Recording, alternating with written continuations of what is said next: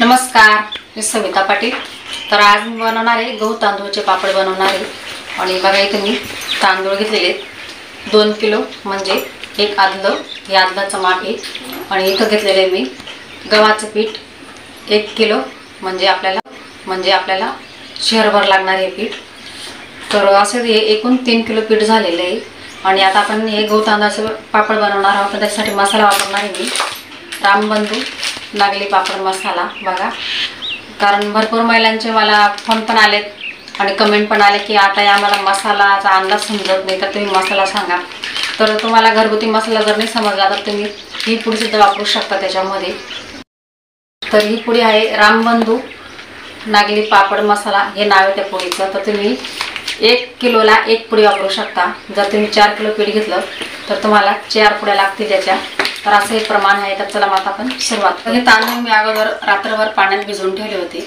आणि दुसऱ्या दिवशी ते पाण्यातून काढून आणि चांगले छान सुकवून आणि नंतर चक्कीवर दळून आणले चक्कीवरून.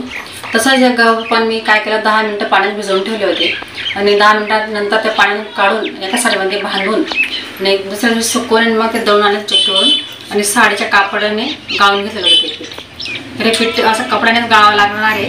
हे पीठ तांदळाचं मी नाही बी गाळलं तरी चालेल. आणि तीन किलो पिठासाठी मी तीन पुढे वापरणार आहे बघा. नागलीच्या. नागली पापड मसाला येतो पण तो गहू तांदळाच्या पापडला चालतो तो मसाला. तर मी हा तीन पुढे वापरणार आहे. तर चला माझा करूया सुरुवात. तर बघा मी इकडे पातेल्यात पाणी ठेवलेलं आहे गरम करायला. पाणी छान गरम झालेलं आहे.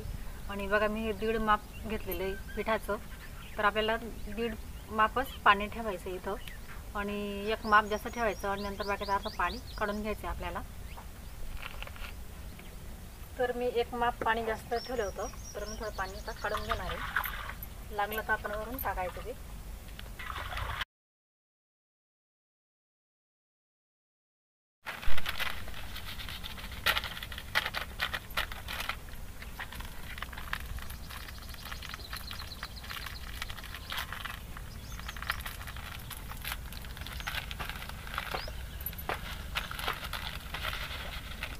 छान पाण्याला उकळी आली की आपण त्याच्यात पीठ टाकून घेऊ.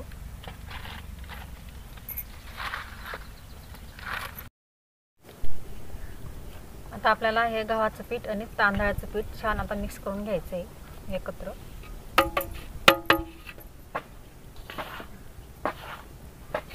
अशा पद्धतीने छान मिक्स करून घ्यायचं आहे.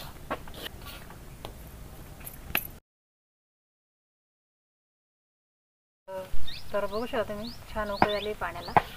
आता आपण त्याच्यात पीठ टाकून घेऊ.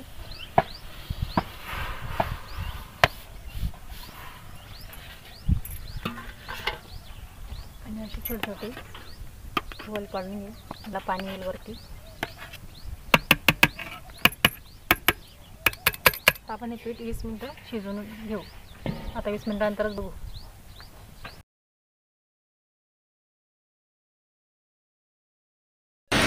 तर पंधरा मिनटं झालेत आता आपण. कशी तयार करून घेऊ?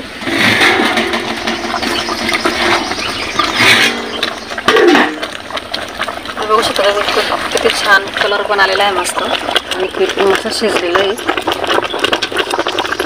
तर आता आपण गोट्याने घेऊन घेऊ आता मस्त.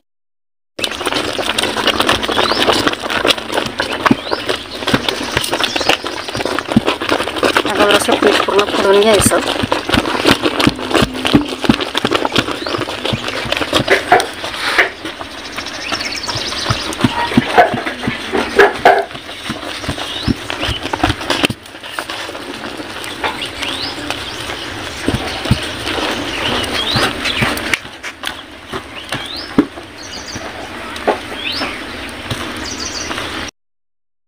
तर बघा आता अशा पद्धतीने पीठ छान चोळून घ्यायचं आहे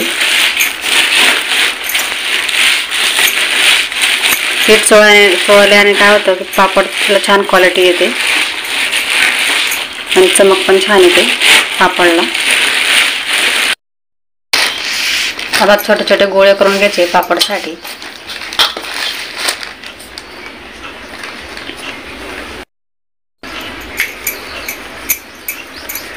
अशा पद्धतीने छोटे छोटे गोळे करून घ्यायचे आणि आपल्याला पापड तयार करून घ्यायचे. बघा.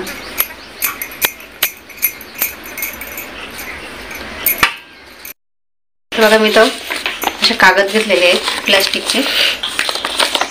त्याच्यावर आपण पापड दाबून घेऊ. ज्या तेलच्या पिशव्याच्या त्याच्या आहेत बघा.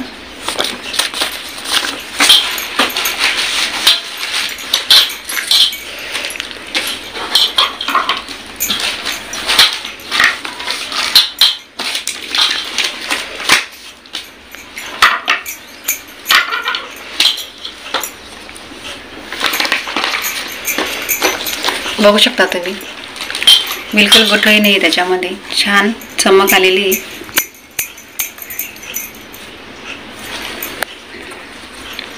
तर अशाच पद्धतीने आता आपल्याला पूर्ण पापड करून घ्यायचे.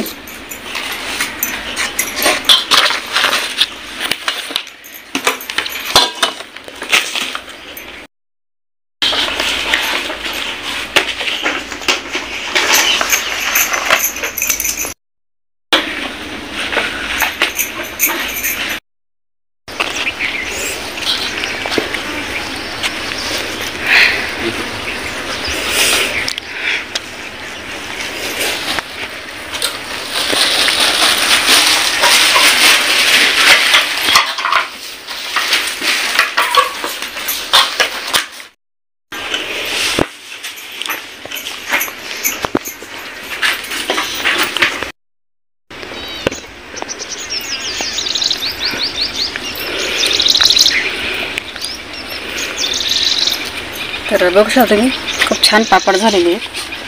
आता मी तुम्हाला टाकून दाखवते. कलरही छान आलेला आहे. बघा छान निघत आहे. अशाच पद्धतीने पूर्ण पापड लाटून घ्यायचे.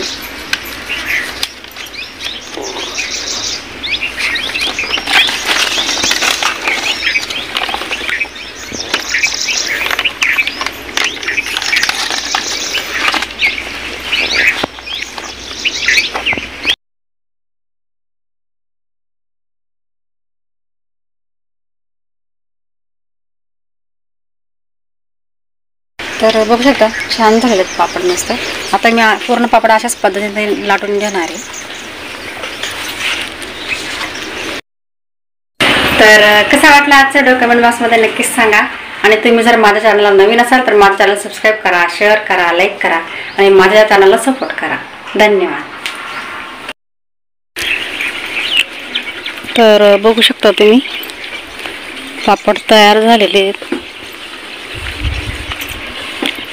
व छान मस्त.